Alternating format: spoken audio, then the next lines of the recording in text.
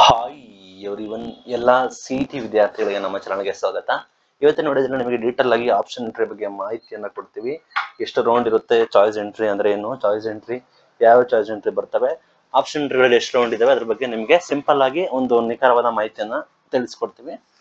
Subscribe subscribe ಆಗಿ video ಇಷ್ಟ ಆದರೆ ಲೈಕ್ ಮಾಡಿ ಇಲ್ಲಿ what is option entry option entry ಅಂದ್ರೆ ಏನು ವಿದ್ಯಾರ್ಥಿಗಳಿಗೆ ಗೊತ್ತಿರಲ್ಲ. ಆಪ್ಷನ್ ಎಂಟ್ರಿ ಬಂದ್ಬಿಟ್ಟು ಕೆ ಎ ಅವರು ಕಂಡಕ್ಟ್ ಮಾಡ್ತಾರೆ. ನಿಮಗೆ ಆನ್ಲೈನ್ ಮೋಡ್ನಲ್ಲಿ ನಿಮಗೆ ಆನ್ಲೈನ್ ಮೋಡಲ್ಲಿ ಇರ್ತದೆ. ಆನ್ಲೈನ್ ಮೋಡ್ ಅಂದ್ರೆ ಜಸ್ಟ್ ನಿಮಗೆ ಲಿಂಕ್ ಮೂಲಕ ನೀವು ನಿಮ್ಮ ಡೀಟೇಲ್ಸ್ ಎಲ್ಲ ಎಂಟ್ರಿ ಮಾಡಬೇಕಾಗುತ್ತೆ. ಯೂಸರ್ ಐ ಡಿ ಪಾಸ್ವರ್ಡ್ ನಿಮ್ಮ ಸೀಕ್ರೆಟ್ ಕೀ ಎಂಟ್ರಿ ಮೂಲಕ ನೀವು ಅದಕ್ಕೆ ಆಕ್ಸೆಸ್ ಮಾಡಬೇಕಾಗುತ್ತೆ. ಅದು ಯಾವಾಗ ಶುರು ಮಾಡ್ತಾರೆ ಅಂದ್ರೆ ಕೆ ಅವರು ಆದಷ್ಟು ಬೇಗ ರಿಲೀಸ್ ಮಾಡ್ತಾರೆ. ನಿಮ್ಮ ಡಾಕ್ಯುಮೆಂಟ್ ವೆರಿಫಿಕೇಶನ್ ಕಂಪ್ಲೀಟ್ ಆಗಿ ವಿದ್ಯಾರ್ಥಿಗಳು ವೆರಿಫಿಕೇಶನ್ ವೆರಿಫಿಕೇಶನ್ ಸ್ಲಿಪ್ ಅನ್ನು ಪಡ್ಕೊಂಡಂತ ವಿದ್ಯಾರ್ಥಿಗಳು ಆಪ್ಷನ್ ಎಂಟ್ರಿಗೆ ಎಲಿಜಿಬಲ್ ಆಗ್ತೀರಾ. ಡಾಕ್ಯುಮೆಂಟ್ ವೆರಿಫಿಕೇಶನ್ ಆಗಿರಬೇಕು ವೆರಿಫಿಕೇಶನ್ ಸ್ಲಿಪ್ನ ಪಡ್ಕೊಂಡಿರ್ಬೇಕು ಸೀಕ್ರೆಟ್ ಕೀ ಇರುತ್ತೆ ಅದರ ನಂತರ ನಿಮಗೆ ಆಪ್ಷನ್ ಎಂಟ್ರಿ ಆಕ್ಸೆಸ್ ಮಾಡಬಹುದು. ಅದ್ರ ಬಗ್ಗೆ ಡೇಟ್ ಕೂಡ ಅದನ್ನು ಕೂಡ ಪ್ರಕಟ ಮಾಡ್ತಾರೆ. ಆ, ನಿಮ್ದು ಸಿ ಟಿ ಮಾರ್ಕ್ಸ್ ಮೇಲೆ ನಿಮಗೆ ಆಪ್ಷನ್ ಎಂಟ್ರಿ ಬರ್ತದೆ. ಇಲ್ಲಿ ಹೌ ಮೆನಿ ರೌಂಡ್ಸ್ ಎಷ್ಟು ರೌಂಡ್ಸ್ ಇರುತ್ತೆ ಅಂದ್ರೆ ಇಲ್ಲಿ ಒಂದು ಎರಡು ಮೂರು ತರ್ಡ್ ರೌಂಡ್ ಮೂರು ಸಿ ಟಿ ರೌಂಡ್ಸ್ ಇರ್ತವೆ. First round second round second extend round ಅಂತ ಕರೀತಾರೆ.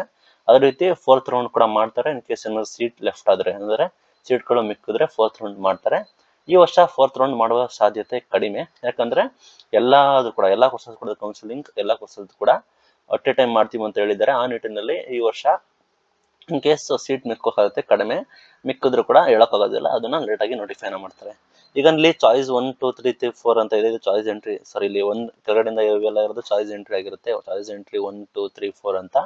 ಈಗ round one round two round three ಬಗ್ಗೆ ಮಾತಾಡೋಣ.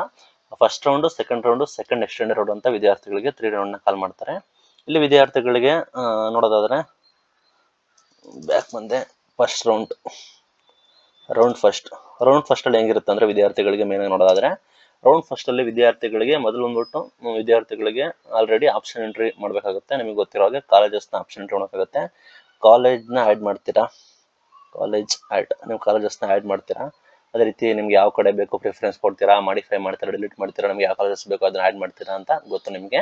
ಆದರೆ ಈ ವರ್ಷದಿಂದ ನಿಮಗೆ ಹೇಳಿರೋ ಪ್ರಕಾರ ಕೋರ್ಸ್ ವೈಸ್ ಕೊಡ್ತಾರೆ. ಅಂದ್ರೆ ನಿಮಗೆ ಮೊದಲು ನೀವು ಕೋರ್ಸ್ ಆ್ಯಡ್ ಮಾಡಬೇಕಾಗುತ್ತೆ. ಇಂಜಿನಿಯರಿಂಗ್ ಮೆಡಿಕಲ್ ನಿಮಗೆ ಯಾವ ಪ್ರಿಫರೆನ್ಸ್ ಮೊದಲು ಎಂಟ್ರಿ ಮಾಡಿ, ಅದರ ನಂತರ ನೀವು ಕಾಲೇಜಸ್ ಆ್ಯಡ್ ಮಾಡಬೇಕಾಗುತ್ತೆ. ಅದು ಫಸ್ಟ್ ರೌಂಡ್ ಫಸ್ಟ್ ಸ್ಟೆಪ್ ಆಗಿರುತ್ತೆ. ಅದೇ ರೀತಿ ವಿದ್ಯಾರ್ಥಿಗಳಿಗೆ ನೆಕ್ಸ್ಟು ಬ್ಯಾಕ್ ಬಂದೆ. ನೀವು ನಿಮ್ಮ ಕಾಲೇಜಸ್ನ ಆ್ಯಡ್ ಮಾಡ್ತೀರಾ? ಓಕೆ ಫಸ್ಟ್ ನಿಮ್ಗೆ ಯಾವ ಕಾಲೇಜಸ್ ಬೇಕು ಅದನ್ನು ಚೂಸ್ ಮಾಡ್ತೀರಾ? ಓಕೆ ಅದ ನಂತರ ನಿಮಗೆ ಏನಂದ್ರೆ ಫಸ್ಟ್ ರೌಂಡಲ್ಲಿ ನಿಮಗೆ ಮಾಕ್ ಅಲಾಟ್ಮೆಂಟ್ ಅಂತ ಮಾಡ್ತಾರೆ. ಮಾಕ್ ಅಲಾಟ್ಮೆಂಟ್ ಅಂದ್ರೆ ಸಿಂಪಲ್ ಒಂದು ಡೆಮೋ ತರ ಮಾಕ್ ಅಲಾಟ್ಮೆಂಟ್ ಅಂತ ಕರೀತಾರೆ. ಡೆಮೋ ತರ ನಿಮಗೆ ಯಾವ ಸೀಟ್ ಸಿಗ್ಬೋದು ಅಂತ ಒಂದು ಮಾಕ್ ಅಲಾಟ್ಮೆಂಟ್ ಮಾಡ್ತಾರೆ. ಆಗ ನಿಮಗೆ ಒಂದು ಸೀಟ್ ಸಿಗುತ್ತೆ. ಆಗ ನಿಮ್ಗೆ ಜಸ್ಟ್ ಒಂದು ಐಡಿಯಾ ಬರುತ್ತೆ. ಓ, ನನಗೆ ಈ ಕಲರ್ ಸೀಟ್ ಸಿಗ್ಬೋದು. ನನಗೆ ಈ ಈ ಕ್ಯಾಟಗರಿ ಅಂಡರ್ ಸೀಟ್ ಸಿಗ್ಬೋದು. ಎಸ್ ಎನ್ ಕ್ಯೂ ಸಿಗುತ್ತಾ? ನಮ್ಮ ಕ್ಯಾಟಗರಿ ಸೀಟ್ ಸಿಗುತ್ತಾ? ರೂರಲ್ ಸೀಟ್ ಸಿಗುತ್ತಾ? ಜನರಲ್ ಮೀಟ್ ಸಿಗುತ್ತೆ ಅಂತ ನಿಮ್ಗೆ ಗೊತ್ತಾಗುತ್ತೆ. ಯಾವ್ಯಾವ ಸೀಟ್ ಅಲಾಟ್ಮೆಂಟ್ ಆಗುತ್ತೆ ಅಂತ. ಅದು ಮಾಕ್ ಅಲಾಟ್ಮೆಂಟ್ ಅಂತಾರೆ. ಕೇಸ್ ಮಾಕ್ ಅಲಾಟ್ಮೆಂಟ್ ನಂತರ ನಿಮಗೆ ಮತ್ತೊಮ್ಮೆ ಎಡಿಟ್ ಆಪ್ಷನ್ ಕೊಡ್ತಾರೆ. ಮಾಕ್ ಅಲಾಟ್ಮೆಂಟ್ ಆದ ನಂತರ ನಿಮಗೆ ಎಡಿಟ್ ಆಪ್ಷನ್ ಕೊಡ್ತಾರೆ. ಆ ಎಡಿಟ್ ಆಪ್ಷನ್ ಇದ್ದಾಗ ಏನಾಗುತ್ತೆ ಅಂದ್ರೆ ವಿದ್ಯಾರ್ಥಿಗಳಿಗೆ ಎಡಿಟ್ ಮಾಡ್ಕೋಬಹುದು ಇನ್ ಕೇಸ್ ಎಡಿಟ್ ಮಾಡಿಫೈ ಹಿಂದೆ ಮುಂದೆ ಹಾಕೋದು ಕಾಲೇಜಸ್ನ ಮಾಡೋದು ಕೋರ್ಸಸ್ನ ಹಿಂದೆ ಮುಂದೆ ಹಾಕೋದು ಕಾಲೇಜಸ್ನ ರಿಮೂವ್ ಮಾಡೋದು, ಅದನ್ನೆಲ್ಲ ಎಡಿಟ್ ಆಪ್ಷನ್ ಮಾಡ್ಕೋಬಹುದು ಎಡಿಟ್ ಆಪ್ಷನ್ ಮಾಡಿದ ನಂತರ ನಿಮಗೆ ಎಡಿಟ್ ಆಪ್ಷನ್ ಮಾಡಿದ ನಂತರ ನಿಮಗೆ ಮತ್ತೆ ಸೀಟ್ ಅಲಾಟ್ಮೆಂಟ್ ಆಗುತ್ತೆ. ಇದು final seat allotment final final result result ಅಂತ ಕರೀತಾರೆ ಸೀಟ್ ಅಲಾಟ್ಮೆಂಟ್ ಕರೀತಾರೆ. ಫೈನಲ್ ರಿಸಲ್ಟ್ ಬರುತ್ತೆ. ಇಲ್ಲಿ ನಿಮಗೆ ಮಾಕ್ ಅಲಾಟ್ಮೆಂಟ್ ಅಲ್ಲಿ ಮಾಕ್ ರಿಸಲ್ಟ್ ಬರುತ್ತೆ, ನಂತರ ಎಡಿಟ್ ಮಾಡಿದ್ರೆ ನಂತರ ಫೈನಲ್ ರಿಸಲ್ಟ್ ಬರುತ್ತೆ. ಅಂದ್ರೆ ಫೈನಲ್ ರಿಸಲ್ಟ್ ಅಂದ್ರೆ ಫೈನಲ್ ಸೀಟ್ ಅಲಾಟ್ಮೆಂಟ್ ಬರುತ್ತೆ. ಅದ ನಂತರ ನೀವು ಫೈನಲ್ ಸೀಟ್ ಅಲಾಟ್ಮೆಂಟ್ ಬಂದಿರುತ್ತೆ. ಆಗ ನೀವು ನೋಡ್ಕೋತೀರಾ ಯಾವ ಯಾವ್ಯಾವ್ದು ಕಾಲೇಜಸ್ ನಿಮಗೆ ಸಿಕ್ಕಿದೆ ಅಂತ ನೋಡ್ಕೋತೀರಾ. ಕೆಲವು ವಿದ್ಯಾರ್ಥಿಗಳಿಗೆ ಸಿಗ್ಬೋದು, ಕೆಲವು ವಿದ್ಯಾರ್ಥಿಗಳಿಗೆ ಸಿಗ್ಬೋದು, ಸಿಗದೇ ಇರ್ಬೋದು. ಕೆಲವು ವಿದ್ಯಾರ್ಥಿಗಳಿಗೆ ತಾವು ಅಂದ್ಕೊಂಡ ಕಾಲೇಜ್ ಸಿಗದೇ ಇರ್ಬೋದು. ಈ ರೀತಿ ರಿಸಲ್ಟ್ ಕೂಡ ಬರುತ್ತೆ. ಅದನ್ನು ಕೂಡ ವಿದ್ಯಾರ್ಥಿಗಳು ಫೈನಲ್ ರಿಸಲ್ಟ್ನ ನೋಡ್ಕೋತೀರಾ. ಅದ ನಂತರ ವಿದ್ಯಾರ್ಥಿಗಳಿಗೆ ಯಾವ ಕಾಲೇಜಸ್ ಯಾವ ಸೀಟು ಅಂತ ಗೊತ್ತಾಗುತ್ತೆ. ಅದೇ ರೀತಿ ಕಟ್ ಆಫ್ ರಿಲೀಸ್ ಮಾಡ್ತಾರೆ. ಯಾವ ರ್ಯಾಂಕಿಂಗ್ ಎಷ್ಟು ಕಟ್ ಆಫ್ ಇತ್ತು, ನಮ್ದು ಎಷ್ಟು ರ್ಯಾಂಕಿಂಗ್ ಒಳಗಿದೆ ಅದೆಲ್ಲ ಗೊತ್ತಾಗುತ್ತೆ. ಕಟ್ ಆಫ್ ಎಷ್ಟಿದ್ದು ನಮ್ದು ಎಷ್ಟು ಇದೆಲ್ಲ ಗೊತ್ತಾಗುತ್ತೆ. ಅದೇ ರೀತಿ ನಂತರ ಚಾಯ್ಸ್ ಎಂಟ್ರಿ ಮಾಡಬೇಕಾಗುತ್ತೆ ಇಲ್ಲಿ ನಾಲ್ಕು ಚಾಯ್ಸ್ಗಳಿದಾವೆ ಚಾಯ್ಸ್ ಎಂಟ್ರಿ ಮಾಡಬೇಕಾಗುತ್ತೆ ಚಾಯ್ಸ್ ಎಂಟ್ರಿ ಮಾಡಿದ ನಂತರ ನೀವು ನೆಕ್ಸ್ಟ್ ರೌಂಡ್ಗೆ ಪಾರ್ಟಿಸಿಪೇಟ್ ಮಾಡ್ಬೋದು. ಈಗ ಚಾಯ್ಸ್ ಎಂಟ್ರಿ ಬಗ್ಗೆ ಮಾತಾಡೋಣ ಅಥವಾ ನೆಕ್ಸ್ಟ್ ರೌಂಡ್ ಬಗ್ಗೆ ಮಾತಾಡೋಣ? ಈಗ ಮೊದಲು ಬಂದ್ಬಿಟ್ಟು ಇಷ್ಟೆಲ್ಲ ಪ್ರೊಸೆಸ್ ಆಯಿತು. ರೌಂಡ್ ಒನ್ನಲ್ಲಿ ಕಾಲೇಜಸ್ನ ಆ್ಯಡ್ ಮಾಡಿದ್ರಿ ರಿಮೂವ್ ಮಾಡಿದ್ರಿ ಮಾಡಿಫೈ ಮಾಡಿದ್ರಿ. ಮಾಕ್ ಅಲಾಟ್ಮೆಂಟ್ ಬಂತು ಮಾಕ್ ಅಲಾಟ್ಮೆಂಟ್ ರಿಸಲ್ಟ್ ಬಂತು, ನಂತರ ಎಡಿಟ್ ಮಾಡಿದ್ರಿ, ಎಲ್ಲ ಮಾಡಿದ್ರಿ. ಅದೇ ರೀತಿ ನಿಮಗೆ ಮತ್ತೆ ಫೈನಲ್ ರಿಸಲ್ಟ್ ಬಂತು. ಫೈನಲ್ ರಿಸಲ್ಟ್ ಬಂದ ನಂತರ ನಿಮಗೆ ಚಾಯ್ಸ್ ಎಂಟ್ರಿ ಮಾಡಬೇಕಾಗುತ್ತೆ. ಸೇಮ್ ಪ್ರೊಸೀಜರ್ ರೌಂಡ್ ಟೂ ಅಷ್ಟೇ. ರೌಂಡ್ ಟೂ ಅಷ್ಟೇ ಸೇಮ್ ಪ್ರೊಸೀಜರ್ ಆಗುತ್ತೆ. ಬಟ್ ಇಲ್ಲಿ ರೌಂಡ್ ಟೂ ಅಲ್ಲಿ ಏನಂದ್ರೆ ನೋಡೋದಾದ್ರೆ ರೌಂಡ್ ಟೂ ನೋಡೋದಾದ್ರೆ ರೌಂಡ್ ಟೂ ಅಲ್ಲಿ ನಿಮಗೆ ಯಾವುದೇ ರೀತಿ ಕಾಲೇಜಸ್ನ ಆ್ಯಡ್ ಮಾಡೋಕೆ ಆಗೋದಿಲ್ಲ. ಆಸ್ ಆಫ್ ಕಳೆದ ವರ್ಷದ ಗಂಟ. ಕಳೆದ ವರ್ಷ ಗಂಟ ನಾವು ನೋಡಿರೋ ಪ್ರಕಾರ ರೌಂಡ್ ಟೂ ಅಲ್ಲಿ ನಿಮಗೆ ಕಾಲೇಜಸ್ನ ಆ್ಯಡ್ ಮಾಡೋದಕ್ಕೆ ಅವಕಾಶ ಇರ್ತಾ ಇರಲಿಲ್ಲ ನಾವು ನೋಡಿರೋ ಪ್ರಕಾರ. ರೌಂಡ್ ಟೂ ಅಲ್ಲಿ ಏನಾಗುತ್ತೆ ಅಂದ್ರೆ, ನಿಮ್ಮ ರೌಂಡ್ ಒನ್ ಅಲ್ಲಿ ರೌಂಡ್ ಒನ್ ನೀವು ಯಾವ್ದೆಲ್ಲ ಯಾವ್ದೆಲ್ಲ ಕಾಲೇಜಸ್ ಆ್ಯಡ್ ಮಾಡಿರ್ತೀರಾ ಅದು ಕೂಡ ಪ್ರಿಫರೆನ್ಸ್ ತಗೋತಾರೆ. ಯಾವ ಕಲರ್ಸ್ ಆ್ಯಡ್ ಮಾಡಿರ್ತೀರ ಅದನ್ನು ಕೂಡ ಪ್ರಿಫರೆನ್ಸ್ ತಗೊಂಡು. ಯಾವ ಕಲರ್ಸ್ನ ಓಲ್ಡ್ ಮಾಡಿರ್ತೀರ? ಅದ್ರ ಬಗ್ಗೆ ಕೂಡ ಹೇಳ್ತೀನಿ. ಯಾವ ಕಲರ್ಸ್ನ ಓಲ್ಡ್ ಮಾಡಿ ಓಲ್ಡ್ ಮಾಡಿರ್ತಾರ?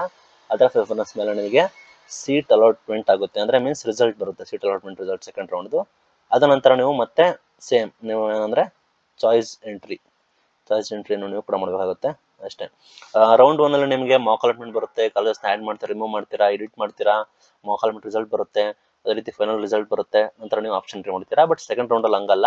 ನೀವು ರೌಂಡ್ ಒನ್ನಲ್ಲಿ ಯಾವೆಲ್ಲ ಕಾಲೇಜ್ ಸ್ಟಾರ್ಟ್ ಮಾಡ್ತೀರಾ ಅದ್ರ ಅದ್ರ ಅಂಡರ್ ನಿಮಗೆ ಸೀಟ್ ಅಲಾಟ್ಮೆಂಟ್ ಆಗುತ್ತೆ. ಅಂದರೆ ರಿಸಲ್ಟ್ ಬರುತ್ತೆ ಸೀಟ್ ಅಲಾಟ್ಮೆಂಟ್ ನಂತರ ನೀವು ಚಾಯ್ಸ್ ಎಂಟ್ರಿ ಮಾಡ್ತೀರಾ.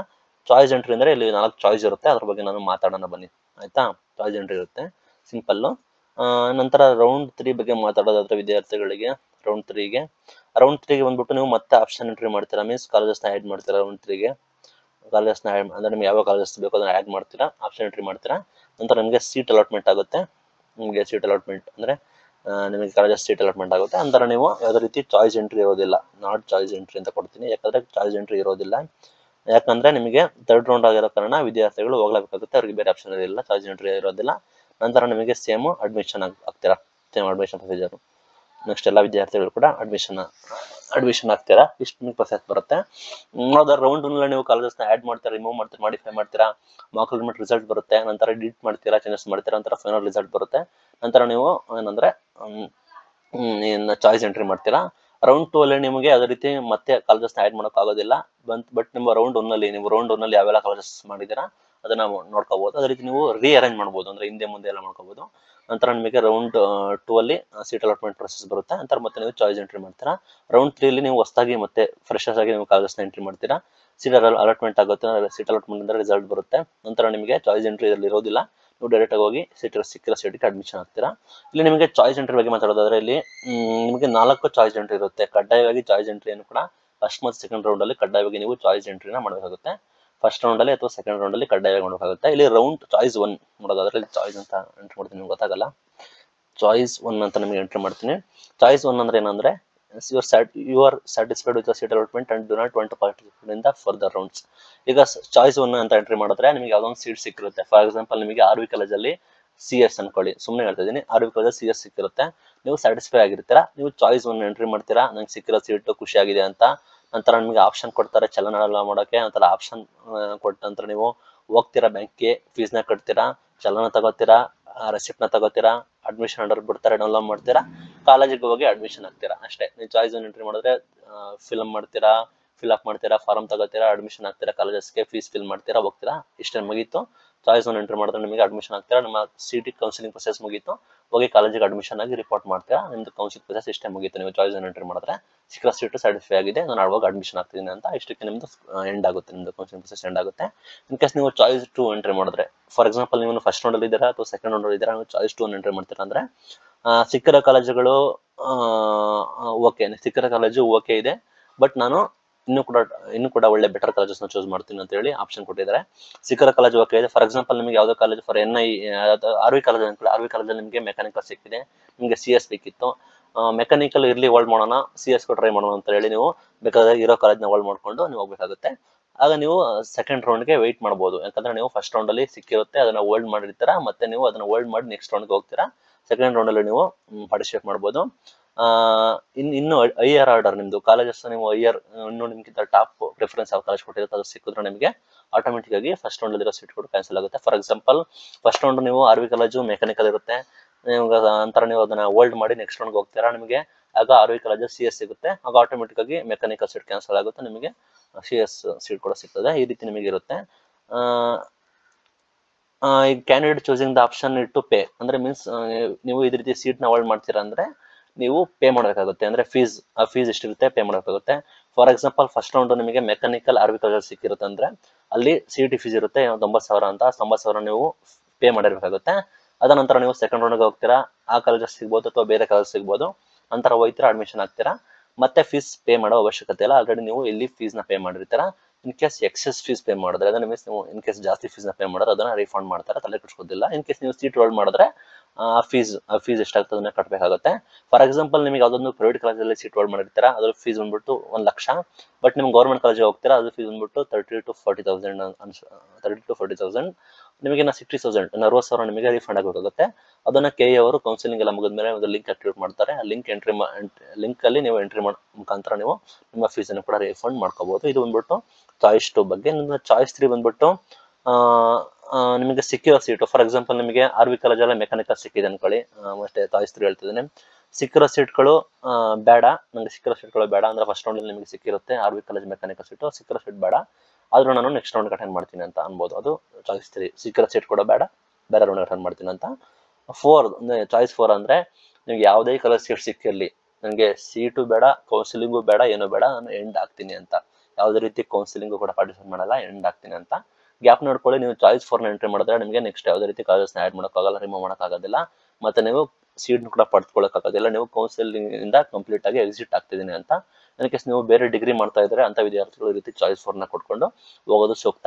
ಇನ್ ಕೇಸ್ ನೀವು ಈ ರೀತಿ ಸೀಟ್ನ ಮಾಡ್ಕೊಂಡು ಸೀಟ್ನ ಪಡ್ಕೊಂಡು ನಂತರ ನೀವು ಸೀಟ್ನ ಹೋಲ್ಡ್ ಮಾಡೋದು ಅಥವಾ ನೀವು ಹೋಗದಲ್ಲಿ ಇರೋದು ಮಾಡಿದ್ರೆ ನಿಮಗೆ ಫೈನ್ ಕೂಡ ಅಲಾಟ್ಮೆಂಟ್ ಮಾಡ್ತಾನೆ.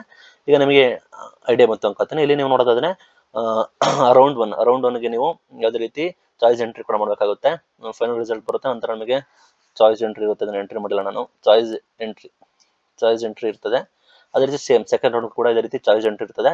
ಥರ್ಡ್ ರೌಂಡ್ಗೆ ಅದೇ ರೀತಿ ಚಾಯ್ಸ್ ಎಂಟ್ರಿ ಇರೋದಿಲ್ಲ ಯಾಕಂದ್ರೆ ಅದು ಫೈನಲ್ ರೌಂಡ್ ಆಗಿರುತ್ತೆ. ಅದೇ ರೀತಿ ಯಾವುದೇ ರೀತಿ ಆಪ್ಷನ್ ಕೊಡೋಕ್ಕಾಗೋದಿಲ್ಲ ನೀವು ಹೋಗಿ ಅಡ್ಮಿಷನ್ ಆಗಬೇಕಾಗುತ್ತೆ ಈ ರೀತಿ ನಮಗೆ ಅರ್ಥ ಇದೆ ಅನ್ಕೋತೀನಿ ಫಸ್ಟ್ ರೌಂಡಲ್ಲೇ ನಿಮಗೆ ಅಂದ್ರೆ ಫಸ್ಟ್ ಚಾಯ್ಸ್ ಅಲ್ಲಿ ನಿಮಗೆ ಸೀಟ್ ಸೀಟ್ ನಿಮಗೆ ಸಿಕ್ಕಿರೋ ಸೀಟು ತೃಪ್ತಿ ಆಗಿದೆ ನಾನು ಯಾವುದೇ ಕಾರಣಕ್ಕೂ ನೆಕ್ಸ್ಟ್ ರೌಂಡ್ಗೆ ಹೋಗೋದಿಲ್ಲ. ಸಿಕ್ಕ ಸೀಟ್ ತೃಪ್ತಿ ಆಗಿದೆ. ನಂತರ ಅಡ್ಮಿಷನ್ ಆಗ್ತೀನಿ ಅಂತ ಹೇಳಿ ಅದು ಫಸ್ಟ್ ಅಂದ್ರೆ ಫಸ್ಟ್ ಚಾಯ್ಸ್ ಸೆಕೆಂಡ್ ಚಾಯ್ಸ್ ಬಂದ್ಬಿಟ್ಟು ಸಿಕ್ಕಿರೋ ಸೀಟ್ ಓಕೆ ಸಿಕ್ಕಿರೋ ಸೀಟ್ ಓಕೆ ಬಟ್ ನಾನು ಹೋಲ್ಡ್ ಮಾಡ್ತೀನಿ. ನೆಕ್ಸ್ಟ್ ರೌಂಡ್ಗೆ ಪಾರ್ಟಿಸಿಪೇಟ್ ಮಾಡ್ತೀನಿ.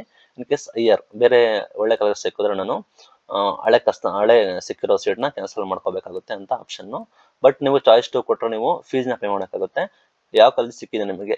ಫಸ್ಟ್ ರೌಂಡಲ್ಲಿ ಯಾವ ಕಲರ್ ಸಿಕ್ಕಿದೆ? ಆ ಫೀಸ್ನ ನೀವು ಕಡ್ಡಾಯವಾಗಿ ಚಾಯ್ಸ್ ಟು ಕೊಟ್ಟರೆ ನೀವು ಕಡ್ಡಾಯವಾಗಿ ಇದನ್ನ ಪೇ ಮಾಡೋಕ್ಕಾಗುತ್ತೆ ಫೀಸು ಚಾಯ್ಸ್ ತ್ರೀ ಕೊಟ್ಟರೆ ನಿಮಗೆ ಸಿಕ್ಕಿರೋ ಕಾಲೇಜು ನನಗೆ ಬೇಡ, ತೃಪ್ತಿ ಆಗಿಲ್ಲ, ನಾನು ನೆಕ್ಸ್ಟ್ ರೌಂಡ್ಗೆ ಪಾರ್ಟಿಸಿಪೇಟ್ ಮಾಡ್ತೀನಿ ಅಂತ. ಇಲ್ಲಿ ಯಾವುದೇ ರೀತಿ ಫೀಸ್ ತುಂಬ ತುಂಬಿದ್ರೆ ನೀವು ಪಾರ್ಟಿಸಿಪೇಟ್ ಮಾಡ್ಬೋದು. ಚಾಯ್ಸ್ ಫೋರ್ ಬಂದರೆ ನಿಮಗೆ ಸಿ ಇ ಟಿ ಕೌನ್ಸಿಲಿಂಗಿಂದ ನಾನು ಹೊರಗಡೆ ಹೋಗ್ತಾ ಇದ್ದೀನಿ. ಯಾವುದೇ ರೀತಿ ನನಗೆ ಸೀಟು ಬೇಡ ಸಿ ಇ ಟಿ ಕೌನ್ಸಿಲಿಂಗು ಬೇಡ ಅಂತ ಎಕ್ಸಿಟ್ ಆಗೋದು. ಇದು ಇವತ್ತಿನ ಇಂಪಾರ್ಟೆಂಟ್ ವಿಡಿಯೋ ಇದರಲ್ಲಿ ನಿಮಗೆ ಸಿಂಪಲ್ ಆಗಿ ಅರ್ಥ ಆಯ್ತು ಅನ್ಕೋತೀನಿ. ಏನಾದರೂ ಡೌಟ್ ಇದ್ರೆ ಕಮೆಂಟ್ ಕೂಡ ಮಾಡಿ. ಇನ್ಸ್ಟಾ ಇನ್ಸ್ಟಾಗ್ರಾಮಲ್ಲಿ ಡಿ ಎಂ ಮಾಡಿ. Thank you for watching till end